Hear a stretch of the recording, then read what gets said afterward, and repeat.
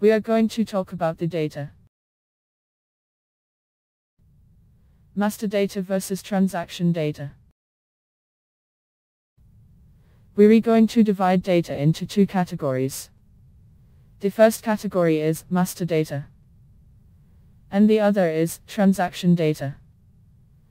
Master data depicts people, places or things that an organization cares about.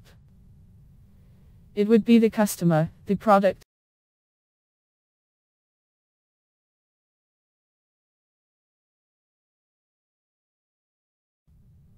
We can compare the master data to nouns and the transactional data to verbs.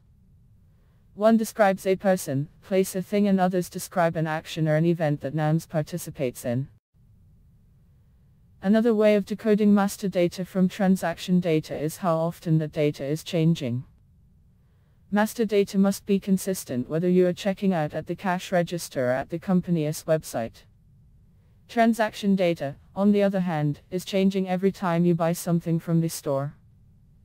It means, one day you can spend $10 and on the second day you can spend $100.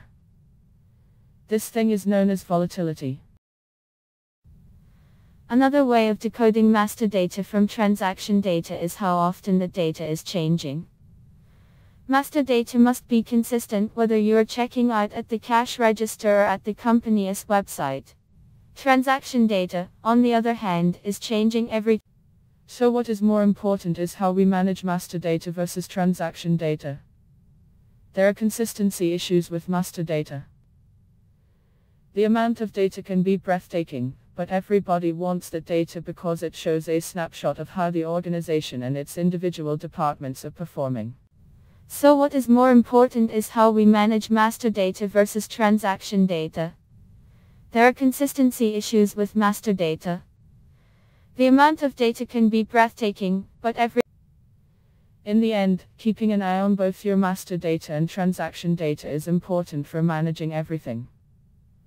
MAAS can be your partner in building and simplifying that strategy because we understand what makes you successful. Thank you for watching this.